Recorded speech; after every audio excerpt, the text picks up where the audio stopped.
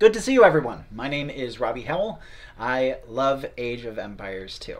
I'm a game developer, I'm a history fan, and I like to put all those things together to create theory crafted civilizations, units, and similar that I'd love to see implemented into the game in the future. If you're anything like me, then today you've seen videos and articles describing a potential Rome themed DLC for AoE 2. I'm thrilled about this. I hope you're thrilled about this. But unfortunately, it brings up a conundrum. I have a Rome based civilization collab that I've had waiting in the wings for months now, but I haven't been able to get to it because I'm currently in the process of moving. So, once this, this, this news dropped, I realized I had to get off my sorry ass and pump out all of the stuff that I have that's blocking that Rome one from dropping so that those buggers don't steal my ideas again. Last time this happened was when the the Dynasties of India DLC dropped. I had a Tamil civilization pretty much 100% ready to go, and the moment before I release it, literally, it was my next video, they drop a entire DLC with the Dravidians inside of it, and they just steal all of my ideas. It's just completely untenable to let that happen again. So to that end, we're going to make this Rome video happen before the DLC drops. It'll be interesting to see how much my ideas line up with the devs. Probably almost not at all. Again, that Tamils idea I had was completely different from the Dravidians as they ended up being implemented, but perhaps I'll get to that at some point in the future. It would be interesting to kind of like remake a couple of existing civs to see where my ideas might vary from how they were actually implemented. But moving on, in case you haven't read the title, today's civilization will be the Dutch, a spearman and economy civilization.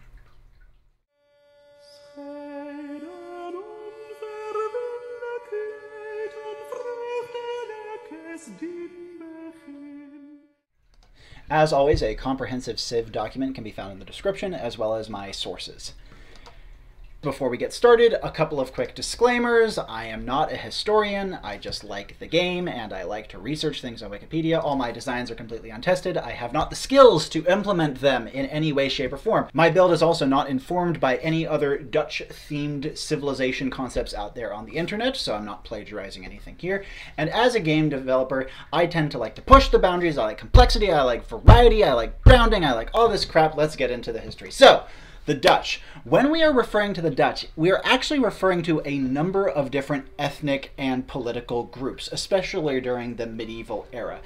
I would argue that Dutch history starts way back in about 400 AD, when a bunch of little fellows called the Frisians started to establish themselves in the swampy uplands of what we now know as the Netherlands. When the Goths started moving out of Germany, however, many of them ended up in the Frisia lands, and their amalgamation together created a brand new kingdom that took up a good chunk of the coastline and even spread into Denmark. Now, the Frisians were actually fairly well unified, enough so to even hold off the early Frankish Empire under Charlemagne.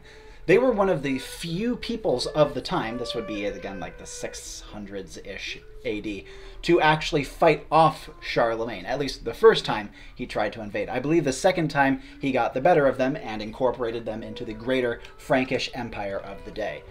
So he moved in, they had some fighting, and eventually he buggered off back to France. This, however, did expose a weakness in the, up until that point, pretty substantial Frisian defense of their lands. And what followed was a whole bunch of other factions, especially the, the Danes and the Germans and everyone, all trying to come in and get a piece of land for themselves while the going was good, and the Frisians were weakened by Frankish influence. And all of this immigration and warfare led to a massive fragmentization of the young Dutch lands breaking them down into a number of microstates that you probably still know the names of today. Places like Holland and Friesland and Flanders and Utrecht and Zeeland and Guelders and a whole lot more. At the time, I think there were like 20 something. This is just a list of the bigger ones that still exist to date, though now they are counties of the greater nation of the Netherlands. So, with all of these different little pieces coming together, what formed was a very, very loose federation of infighting kingdoms that took up much of today's Netherlands and Belgium.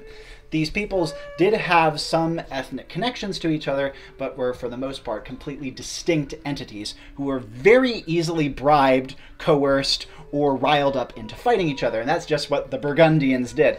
This is reflected, of course, in the, the Lords of the West campaign that focuses on the Burgundians that was released in the DLC last year. A lot of that, or at least a, a chunk of it during scenarios 4 and 5, I believe, are about Burgundian influence in the burgeoning Dutch kingdoms and how they kind of played them against each other and took different political sides in order to destabilize the power of many other European lords in that area, especially Ms. Jacqueline Hainaut, who we'll get to later on. But she wasn't the only one who had a lot of influence in the Dutch kingdoms. Now, England had a ton of influence there as well. It's just a short hop across the channel, after all, and their languages are fairly similar. So it would make sense that the English would have a very strong interest in having influence in the Dutch regions. Even the Scots up north had some connections to the Dutch, though they were often quite divorced from European politics. As early as, I believe, the very late 13th century, a Dutch king attempted to declare himself King of Scotland, as well as the Dutch area that he was in control of. I believe it was Flanders. That was quickly vetoed by England, as you might expect, but it still showed that there was a connection between the two countries, and this connection would be deepened later on during the Great Habsburg invasion. The Spanish Habsburgs had massive power in the 15th and 16th century, and with Protestantism then seen as a great threat to the Catholic European majority, was starting to grow in the Dutch realms, the Habsburgs saw the opportunity to swoop in and take control over the fractured nation states. Under the leadership of the exiled William the Silent, a long term revolt was formulated against the Habsburgs with assistance from both the English and the Scots. William, I believe, even ruled in exile from Scotland while all this was happening, and this led to the 80 years War, an incredibly protracted military action where Dutch peasants and freemen alike fought off the oppressive Spanish rule, eventually culminating in the Great Union of Utrecht. The Dutch peoples would come together and form a unified coalition for the first real time in their history. And so, while you could split a Dutch civilization into a bunch of hyper-specific subcategories, such as Frisians and Hollanders and Flemish and all that, I I found that it was more parsimonious and clean to bring them together under the unified umbrella of Dutch, sweeping many of the differences between these factions slightly under the rug for the sake of clarity and simplicity in game design. Which is not something you'll often hear me say, but in this particular case, ain't no way I'm going to make 10 different civilizations about all the different Dutch powers that were relevant at the time. With history done, let's move on to the flavor. The Dutch would obviously be a Western European civ in their architecture, with unique skins for the castle, monastery, and mill. A unique castle skin is pretty much par for the course these days. A monastery could be a cool way to show off their Protestantism. And the Dutch windmill is an absolutely iconic image, not to mention they have a couple of cool bonuses to the mill that I will get to later on. Their language would be Middle Dutch, begroting, ladies and gentlemen. Their wonder could be the Grote Kerk in Breda. This is a currently standing monument that I believe was refurbished at one point, but it was standing during the AoE 2 relevant time frame, and it stands out pretty substantially to a bunch of the other Western European wonders, so I thought it would be a good pick. As per usual, I have a couple of characters who I think would be good representatives for an overarching Dutch campaign, all coming from relatively different time frames and backgrounds. So let's start with the oldest of these representatives, that being Floris V, also known as the God of Peasants. He was a Hollander, I believe, a Count of Holland, who came to prominence in the mid late 13th century um, he had a long standing war with the Frisians and became incredibly well liked because he tended to act in the interest of the peasantry rather than the nobility. He gained a lot of popular support and had something of an alliance with England, and he even embarked on a couple of very ambitious projects. You know the dikes that Netherlands is especially famous for today? Well, Floris V was possibly the first person to ever construct these. Unfortunately, he was a little too successful and perhaps a little big for his britches. He declared himself himself to be King of Scotland, and after that, his tenuous relationship with England somewhat fell apart, with uh, Edward Longshanks, I believe, actually orchestrating his assassination with, I believe, a couple of collaborators in Frisian lands. So overall, a really interesting guy. I'd say the only downside of a campaign starring him would be you'd be mostly fighting other Dutch players, though there could be plenty of other factions. It would just be primarily a Dutch on Dutch sort of situation. Moving on, we come to one of my favorite characters that I've ever encountered in researching this series, that being Pier. He was a famous pirate and mercenary who came to prominence a bit before the Eighty Years' War, I believe in the 1400s. Uh, was a Frisian man from the north of the Netherlands, uh, and his country was being heavily occupied at that time by German mercenaries operating under the rule of the Burgundians and the Habsburgs. Allegedly, Pier's family was brutalized by a couple of these German mercenaries, which led to him leading an incredibly interesting revolt against first the Germans, then the Burgundians, and then eventually the Habsburg Spanish. Um, he was again renowned as a pirate uh, and would do all sorts of cool raiding from the high seas. So a campaign featuring him would be a great chance to show off uh, the Dutch Navy. Not to mention, he was known for his massive size and ability to wield multiple giant weapons at once. I'm sure most of what is like listed about him online is legend, but even so, legend can be a valid basis for a campaign in Age of Empires 2, and so I'd love to see him star in a Dutch campaign as the protagonist. Lastly, we have less of a specific character and more of an overall situation. That being the Union of Utrecht, and more broadly, the 80 Years' War leading up to this.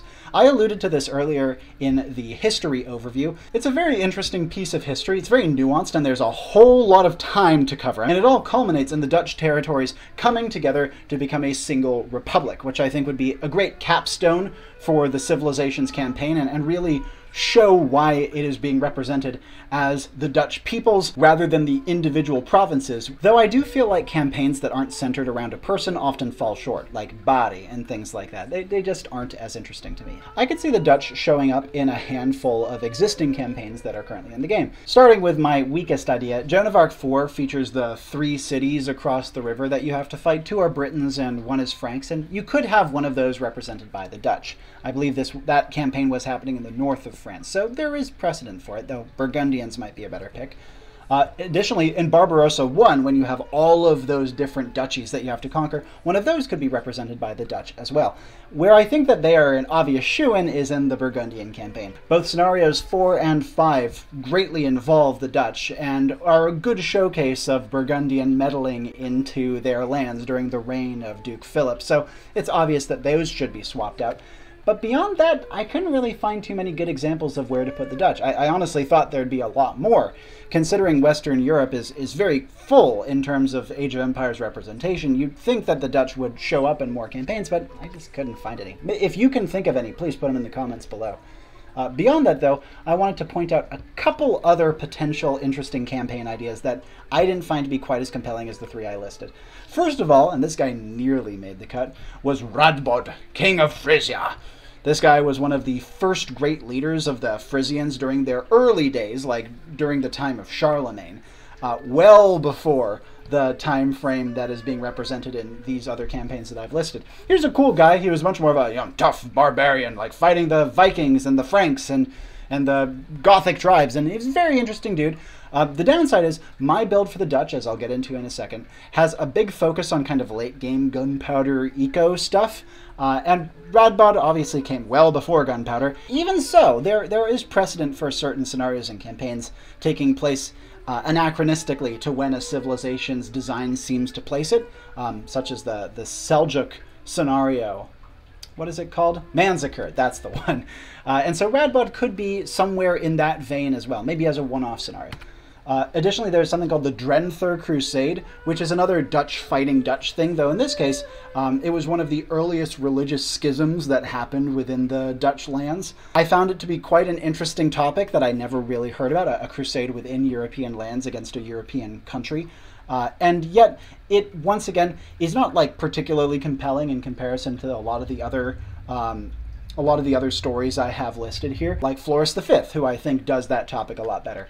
Uh, the Franco-Flemish War is a classic. The Battle of Golden Spurs is one of the most famous events in Dutch history, and I think that a scenario just about the Battle of Golden Spurs would be fantastic, like as a Battle of the Conquerors style one-off. And there are a couple of direct references to it in my build. Uh, lastly, we have Jacqueline, the Countess of Hainaut, and obviously she features as the main antagonist of the Burgundian campaign, But as we have seen with, for example, Edward Longshanks, it can be fun to retell a campaign story from the perspective of a villain, and I think that Jacqueline has a lot more to offer than we see of her. So moving on, from all of this history, I derived, as I always do, a couple of major overarching themes that I use to inform my design of the Dutch civilization.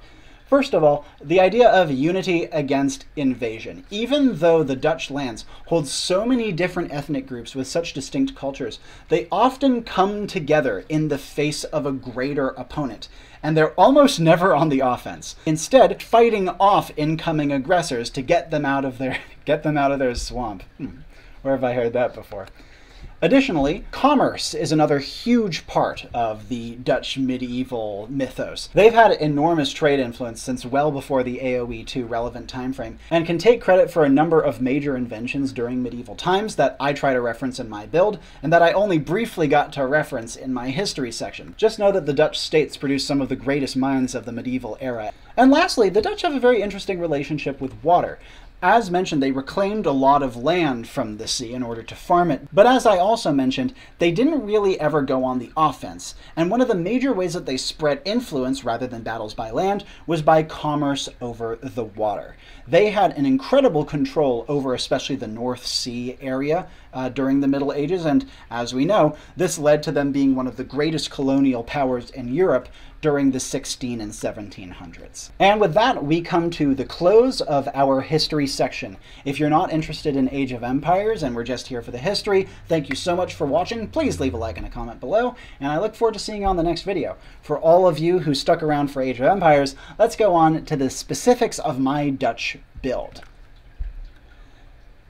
For starters, I list the Dutch as a spearman and economy civilization. Now, spearman is not a typical tag for civilizations, but as you'll see, they really have a major focus on the spear line specifically and being anti-cavalry more broadly. Going through their bonuses really quickly, the first and possibly most complex one is that farms can be built when partially placed in shallow water. This would work kind of like placing a dock, except at least one tile of the farm has to be on dry land rather than on a beach. When a farm is built in this way, it can be walked on and is treated like shallows, and when it goes fallow, uh, it still can be walked on. If a fallow farm despawns, however, any units on it that are land-based are shunted onto dry land like a relic coming off a transport ship.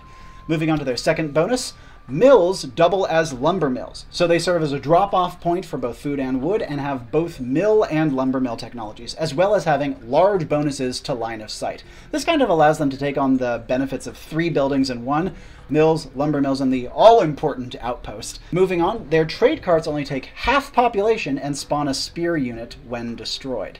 This will allow you to build a massive trade empire when the late game rolls around if you're in a team game, and the spears that pop out when the trade cart dies also only take half a population. If you happen to get raided, then the spears that pop out should be good against the cavalry, destroying all of your trade units. Not to mention, if you happen to lose a trade cog on shallows, that will also produce a spear. Just a cool little perk. The half population is the main benefit of this bonus. Fourthly, their monks cost a lot less and train a lot faster. This may look disgusting on paper, but their monastery is actually very weak and limited, and so in practice, this bonus just gives them kind of an alternative use for monks. Much in the same way that the Malay Battle Elephant bonus is very strong on paper until you realize that Malay Battle Elephants suck, and the bonus just makes them viable as an alternative to infantry spamming. And lastly, and possibly most importantly, market prices for the Dutch slowly renormalize. What this means is for the Dutch player alone, if their market is on the low side, like you can only sell 100 wood for 17 gold, for example, over time, that 17 gold will creep up to 18, 19, 20, etc. This only applies if you haven't sold at the market in a little while, really encouraging the Dutch player to kind of space out selling at the market. This bonus could possibly be insane in late game scenarios, but since you're often spamming the market there, I think the benefit it will give will be fairly minimal in comparison to if you were to space out selling over the course of the entire game. Moving on, their unique unit, the Burgher, is a infantry villager hybrid. It has the same food cost as a villager, of course, with a little bit of extra gold tacked on, and it is actually able to gather resources, though it cannot build and repair, and gathers at a slower rate. Its stats are comparable to a longswordsman, though it is substantially weaker at first.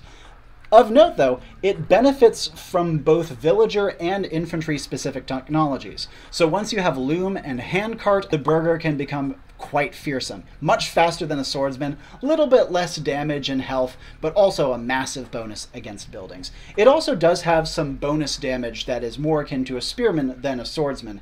It kind of hybridizes the swordsman's specialization against building and eagle warriors with a spearman's specialization against cavalry. Not quite as good as either of them in either regard, but able to do both jobs fairly serviceably, and most importantly, able to harvest resources when not on call.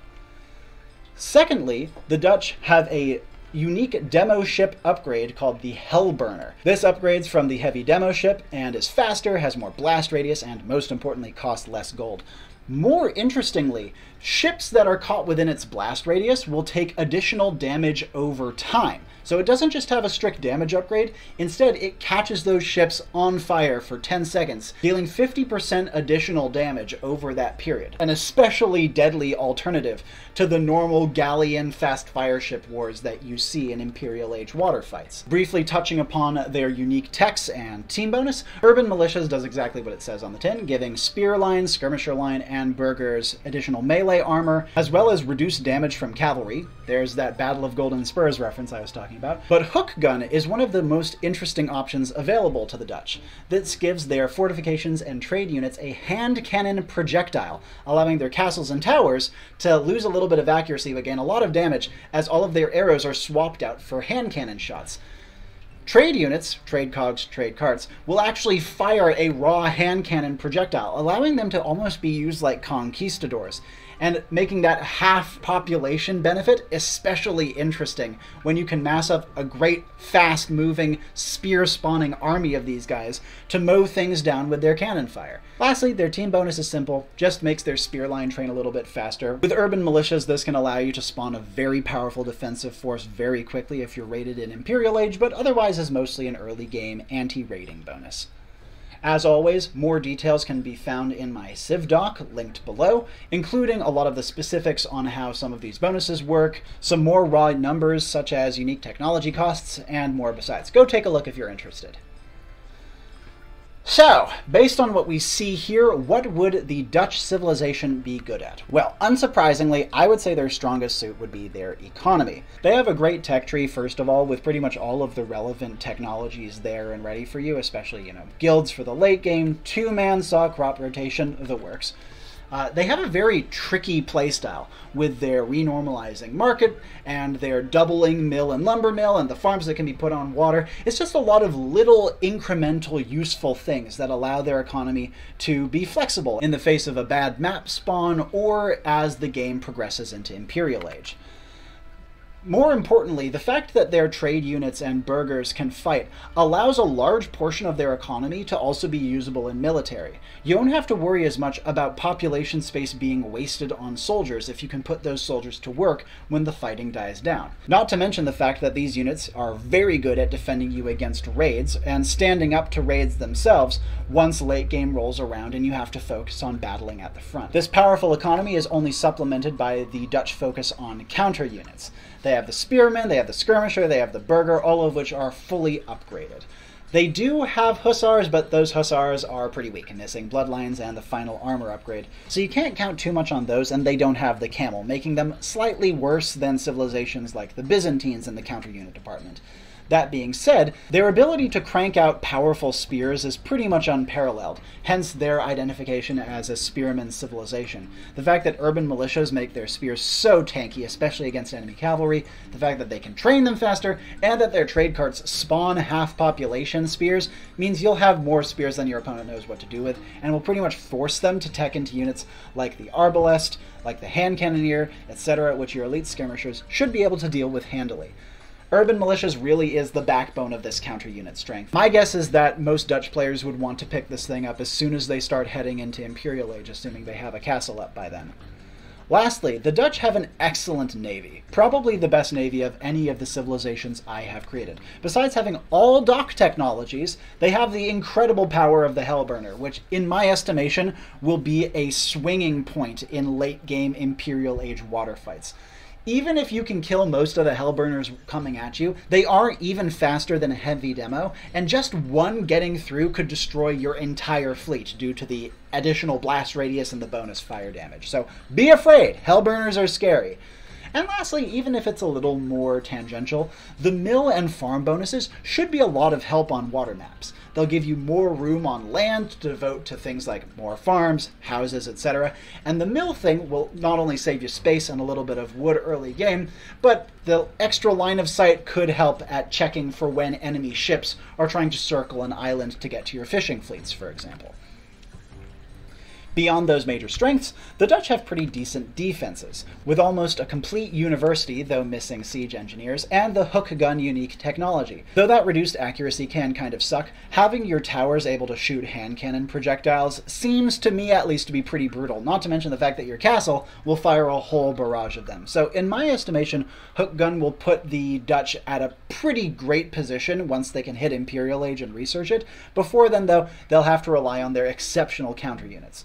Gunpowder, as you can see, is kind of a sub theme of the civilization, and gunpowder does tend to be a little bit better on defense than on offense for civilizations like the Dutch, who don't have siege engineers for good bombard cannons. As a funky offbeat option, the Dutch also have a really cool monk rush.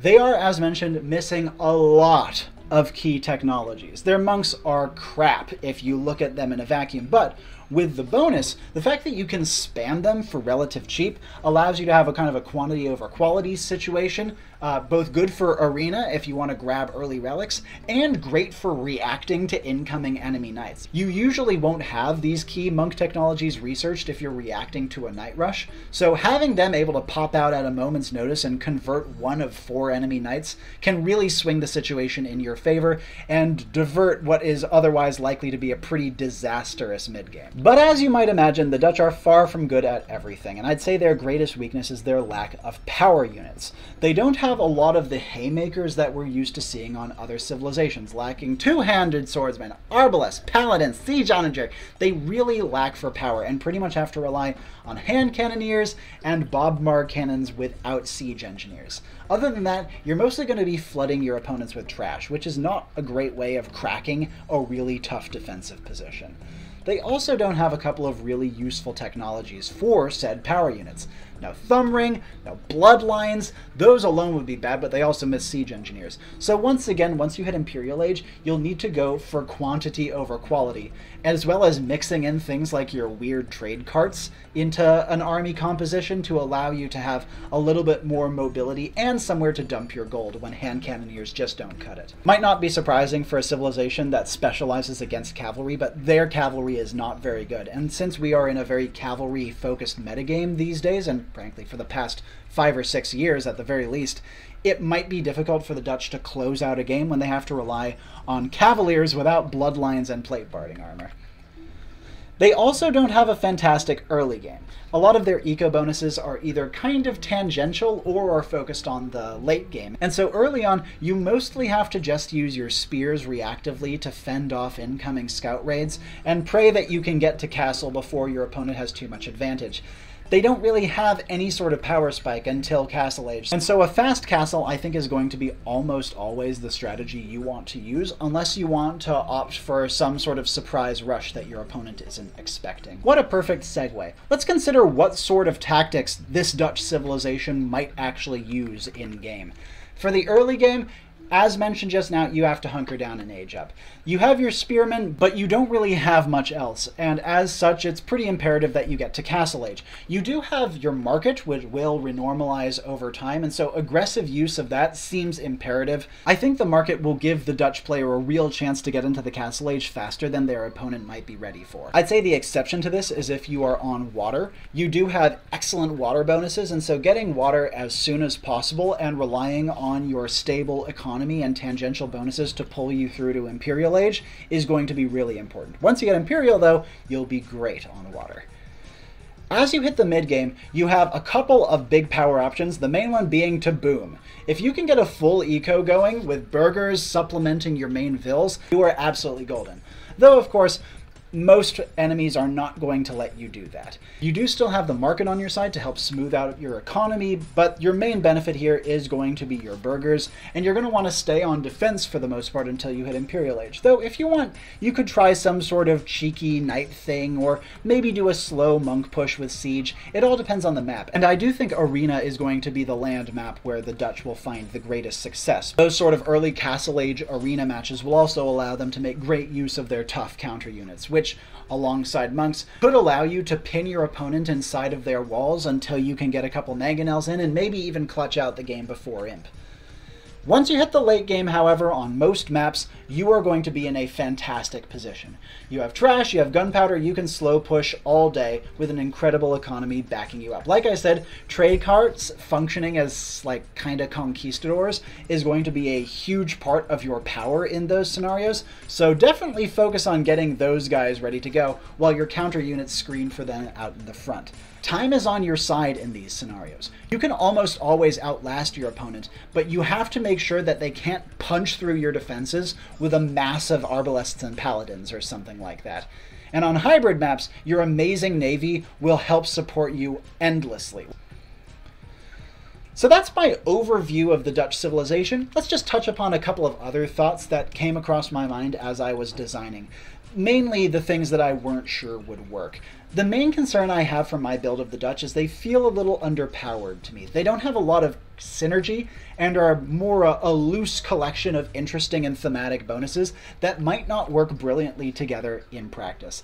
The other thing is, as mentioned, the Dutch could be divided into a couple of different civilizations. The Frisians, the Hollanders, the Flemish, the Zealanders, they're all very different people, so there it did feel a little weird to lump them all under the grand Dutch umbrella.